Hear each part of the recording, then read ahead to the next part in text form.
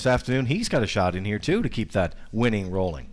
Sets up a great scenario here in the eighth race, Lee, and you were right. Holmesy's spot on New Year's Eve was a whole lot warmer than the seat he's got this afternoon. Here's the eighth post time.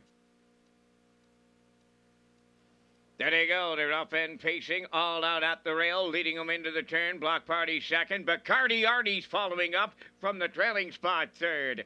Fourth into the turn. That's Wealth of Nations. Then in fifth is Dreaming. Pacing six is Port Hill Alf. Around the turn, Smackwater Jack seventh. Then in eighth, that is Diesel Sealster. The trailer ninth. Tiber Champ and one straight back to nine in the early going. On the point, all out in Mark Bradley. Two hole ride for Bacardi Artie. Block Party well positioned third, then fourth. That's Wealth of Nations into the turn dreaming. She's on the rail fifth. 29 seconds flat open it up. Rounding the turn six is Port Hill Alf. Gapping a little seventh, Smackwater Jack. Going to the outside in eighth is Diesel Sealster. Tiber Champ trailing ninth. They're down the stretch for time one. En route to the opening half mile. On the front end, all out the leader. Bacardi Artie second. Block Party is going to tip out from third. On the rail, fourth is Wealth of Nations. Dreaming has some cover to follow. Second over the outside, fifth. The Happen 101 flat. Racing six is Port Hill Alf. Outside Diesel Sealster seventh. On the rail, Smackwater Jack is eighth.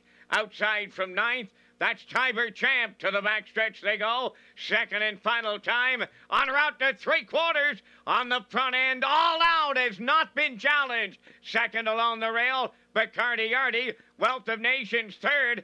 Block Party is back pedaling fourth. Three quarters to all out in a 1 31 and 4. Bacardi Artie getting a perfect ride on his back.